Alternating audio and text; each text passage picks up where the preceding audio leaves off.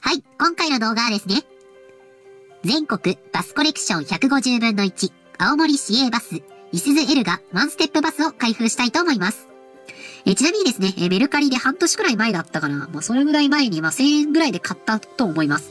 もうちょっとはっきりした値段もね、覚えてないんですよね、昔すぎて。というわけでね、まあ、開けていこうかなと思います。え青森市営バスはですね、青森市交通局ではなくね、まあ、企業局っていうところがね、まあ、運運行してる、まあ、バス事業者ですね。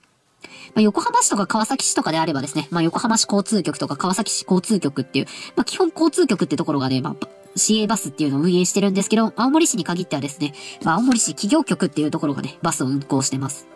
まあ、函館市はまあ昔市営バスはしてたんですけど、函館市も、まあ、市電は企業局ですね。まあ、函館と青森は企業局っていう、まあ、ちょっとあの、交通局ではないところがね、まあ、運営してますね。ちょっとどうでもいい話なんで、えとっとと開けていこうかなと思います。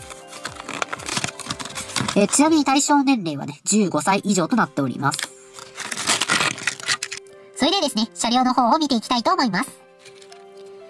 前面はね、こんな感じですね。前面の方向幕の行き先は、2系統新町経由、青森駅行きとなっております。続いて左側面です。左側面はね、こんな感じとなっております。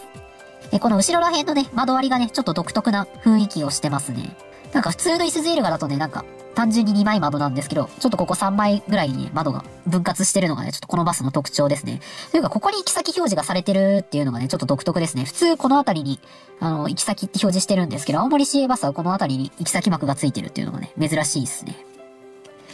で、続いて後ろです。後ろはね、こんな感じですね。新町経由、青森駅行きと書いてあります。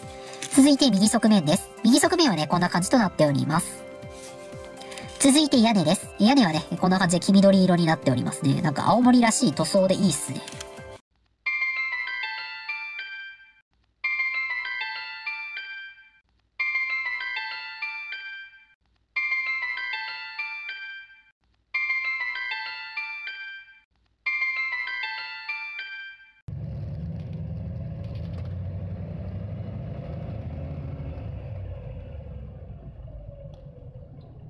次は新町1丁目でございます。お降りの方はお知らせ願います。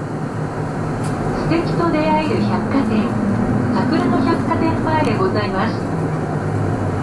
ホテルサンルート青森へおいでの方はこちらでお降りください。